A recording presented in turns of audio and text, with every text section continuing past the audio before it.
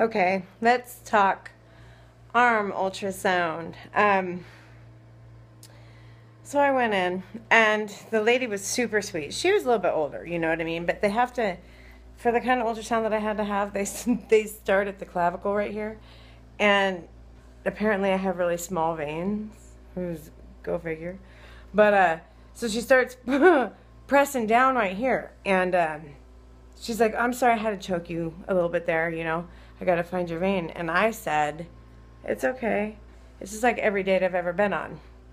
She laughed. She thought it was funny. Okay, so we're going a little bit further into the ultrasound, and she has that ultrasound goop all just all covering my arm. She's like, "Oh my God, I need to wipe you off. I've got you covered in goop." And I said again, like every date I've ever been on. And uh, she didn't. She giggled at that one. She didn't laugh quite as hard, but I was rolling. I thought it was. I thought it was fantastic because I was like, I'm just kidding. I'm just kidding. Some of them weren't even dates.